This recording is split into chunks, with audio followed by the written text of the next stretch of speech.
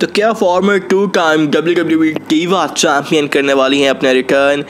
Brave वायन कब वापस आएँगे रेसलिंग के अंदर और रोमन रेंज और कोडी रोड्स के दरमियान मैच कब होगा? हेलो गाइस आप लोग देख रहे हैं रानिश बर्ग सेवन डब्ल्यू एक्सपोर्ट्स एंटरटेनमेंट और आज हम बात करेंगे सबसे पहले ब्रेव वाइन के रिटर्न के ऊपर। जी हाँ दोस्तों, ब्रेव वाइक जो कि फॉर्मर डब्ल्यू डब्ल्यू चैम्पियन है two time W W universal champion रह चुके हैं।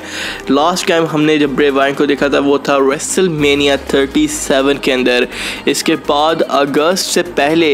यानी कि लेट जुलाई के अंदर लास्ट ईयर ब्रेव वाइन को डब्ल्यू डब्ल्यू ने रिलीज़ कर दिया था, क्योंकि विंस मैकमैन के साथ ब्रेव वाइन के रिलेशन इतने अच्छे नहीं चल रहे थे, और बजट कट्स के ज़रिए ब्रेव वाइन को डब्ल्यू डब्ल्यू से रिलीज़ कर दिया गया था। लेकिन अब रिसेंटली जिस तरह ब्रेव वाइन क्विकर के ऊपर अपनी प्रोफ़ाइल को चेंज कर रहे हैं और जिस तरह के क्विक्स कर रहे हैं तो ब्रेव वाइन हमें जल्दी ही रेसलिंग के अंदर देखने को मिलेंगे। और ब्रेव वाइंक ने ये हिंट भी दिया था कि जो कंपनी चाहे वो ए डब्ल्यू e है या फिर डब्ल्यू डब्ल्यू e है, जो भी कंपनी उनको ज़्यादा डिमांड करेगी, जो उनको ज़्यादा पैसे देगी, वो पहले उसी कंपनी के अंदर फ़ौर ज्वाइन कर लेंगे।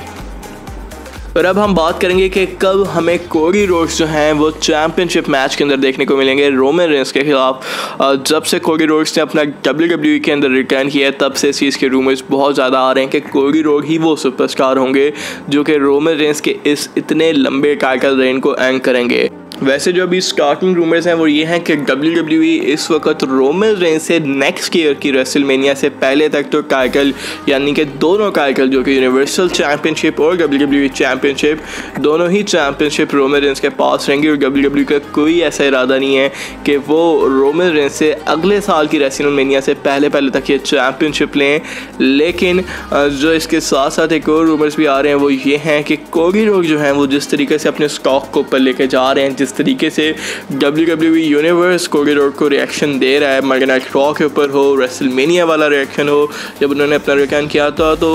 जिस तरीके से कोडी रोड को रिएक्शन मिल रहा है तो शायद डब्ल्यू डब्ल्यू जो है वो अपने आगे जाके प्लान्स चेंज करे और समर स्लैम जो है 2022 समर स्लैम वो पेपर व्यू हो सकता है, जब हमें कोडी रोड्स और रोमन रेंस के दरमियान मैच देखने को मिले, क्योंकि कोडी रोड्स जो है वो मगनाइट रॉ के ऊपर एक टॉप सुपरस्टार है नंबर वन है, और जैसे कि स्मैकडाउन के ऊपर रोमन रेंस जो है वो टॉप के सुपरस्टार हैं, और हालाँकि रोमन रेंस के पास डब्ल्यू डब्ल्यू ई और यूनिवर्सल चैम्पियनशिप दोनों ही चैम्पियनशिप हैं, लेकिन उनका फोकस जो है वो ज़्यादा स्मैकडाउन के ऊपर ही होता है। हालाँकि रिसेंटली जब रोमन रेंस रॉ के ऑफ़ एयर जाने के बाद रॉ के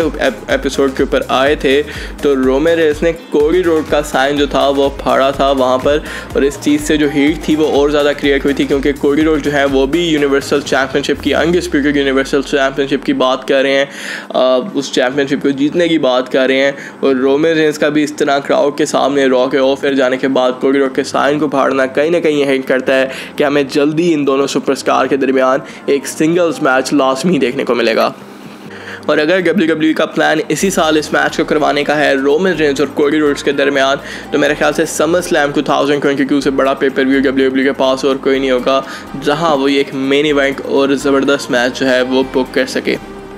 और अब इसके बाद हम बात करेंगे आज की अपनी फाइनल स्टोरी के ऊपर और ये स्टोरी रिलेटेड है former W W two time diva champion से और ये कोई और नहीं बल्कि पेज हैं। जी हाँ जैसे कि आप लोगों को पता होगा कि 2018 के अंदर पेज ने रेसलमेनिया के बाद अपनी रिटायरमेंट को अनाउंस किया था। उनकी नेक के अंदर इशू था। सेम तरह का इशू जिस तरह का गेनियल ब्राइन को था इससे पहले स्टोन कोल्ड्स की वास्किन को था और एज को था और जिसकी वजह से इन तीनों सुपरस्टार ने अपनी रिटायरमेंट अनाउंस की थी। पेज को भी इसी तरह की नेक के अंदर इंजरी हुई थी। लेट 2017 के अंदर और फिर उसके बाद 2018 रेसलमेनिया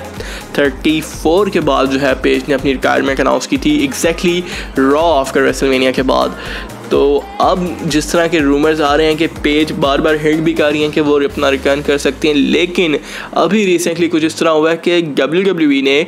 पेज को अपने एक्टिव रॉ के रॉस्कर के ऊपर उनको दोबारा से ऐड कर लिया अगर आप लोग डब्ल्यू डब्ल्यू की वेबसाइट पे जाके देखें तो पेज जो है वो आपको एक रॉ की सुपरस्टार जो एक्टिव सुपरस्टार की लिस्ट हैं, पेज का नाम वहाँ पर शो हो रहा है। तो इससे क्या डब्ल्यू डब्ल्यू करिए, क्योंकि अगर आप लोगों को पता हो कि पेज ने रिटायर होने के बाद स्मैकडाउन की मैनेजर का रोल अदा किया था स्मैकडाउन के ऊपर, लेकिन अभी तो पेज डब्ल्यू डब्ल्यू के अंदर आ ही नहीं रही काफ़ी टाइम से। तो फिर अगर उनको डब्ल्यू डब्ल्यू ने एक्टिव रॉस्कर के अंदर दोबारा से ऐड कर दिया तो कहीं ना कहीं डब्ल्यू डब्ल्यू भी जो है वो इस चीज़ को हैंग करिए कि पेज जो है वो आने वाले टाइम के अंदर अपना रिटर्न कर सकती हैं। हालाँकि इस साल पेश ने अपना रिटर्न टीज़ भी किया था कि जैसे वो इस साल के रॉयल रंबल के अंदर अपना रिटर्न करेंगी, लेकिन ऐसा नहीं हुआ। बहरहाल दोस्तों पेज या फिर ब्रेवाइन के रिटर्न के हवाले से मुझे जो ऐसी मजीद कोई अपडेट मिलेगी। तो मैं आप लोगों के साथ इस चैनल के ऊपर अपडेट शेयर करता रहूँगा। मिलता हूँ आप लोगों से अपनी अगली वीडियो में। तब तक के लिए गुड बाय